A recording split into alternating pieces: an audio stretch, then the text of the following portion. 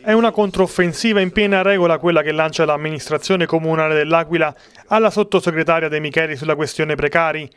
Il vice sindaco Nicola Trifuoggi, carte alla mano, ha sconfessato quanto dichiarato dalla sottosegretaria, dichiarando, anche a nome di Cialente impegnato a Roma, che le proroghe di 56 contratti non sono possibili, sia dal punto di vista normativo sia dal punto di vista contabile. Un duro colpo per i precari che, come ha spiegato lo stesso Trifuoggi, sono stati illusi per troppo tempo sulla possibilità di un loro ritorno sul posto di lavoro.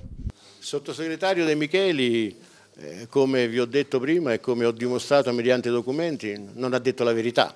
La realtà è che la normativa nazionale non consente la proroga e che quando anche la consentisse noi non avremmo le disponibilità finanziarie per poter pagare gli stipendi ai precari o a qualsiasi altro. Quindi sotto entrambi i profili le dichiarazioni del sottosegretario De Micheli non corrispondono alla verità, sulla base degli stessi documenti che a noi sono pervenuti dal Ministero del sottosegretario De Micheli, dal MEF. Lei ha parlato anche di qualcuno che vuole illudere i lavoratori ed aizzarli anche.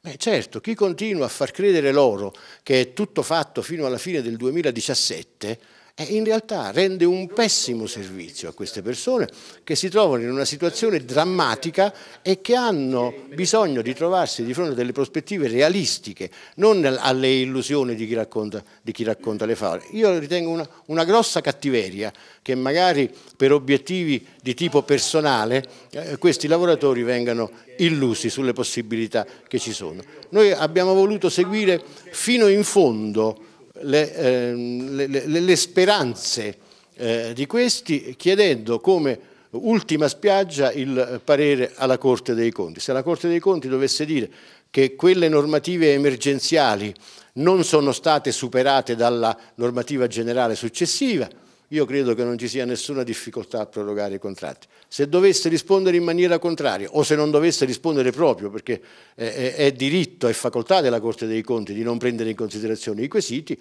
beh, allora il discorso sarebbe naturalmente diverso. Ma questa è l'obiettività, è inutile raccontare favole.